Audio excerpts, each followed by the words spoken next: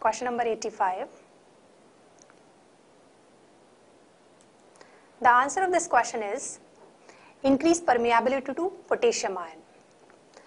Here the question is asked about the repolarization phase.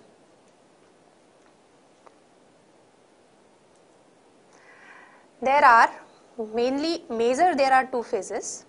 One is the depolarization which is the polarity going towards the positive side and from the minus 70 which is the resting membrane potential of a neuron it goes to the highest level plus 30 the spike potential. So here the this phase is known as depolarization and when it goes back towards the normal, towards the RMP, this is known as repolarization. The depolarization is mainly because of the increase in the permeability of the sodium and it is because of the sodium influx. Suppose this is a cell and there is a sodium is going inside, so you can say the positivity is increasing inside or you can say the polarity is changed from the resting membrane potential in the resting membrane potential, the polarity is inside minus, inside negative, which is minus 70 millivolt. And during the depolarization, sodium influx is there and there is an increase the positivity inside and this goes to the plus 30. At the peak, the sodium starts closing and the potassium starts opening and this is there is an increase in the permeability of the potassium is increases in the repolarization phase and the permeability of the sodium is reduced in the repolarization phase.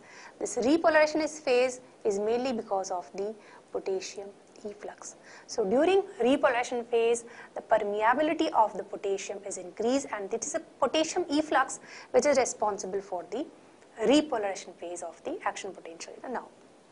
Here if you see the voltage gated channels closing and their rush of the potassium goes slows down. So here from this point the potassium efflux is slows down or you can say again the potassium permeability start reducing and here if you see the normal curve should be like this but here if you see the actual curve is this one.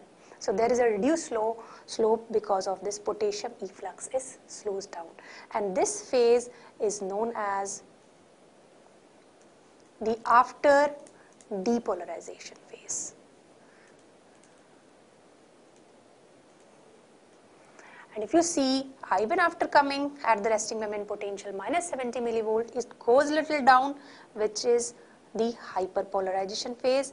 Here it is because of some of the voltage gated potassium channels are still open. And then it goes.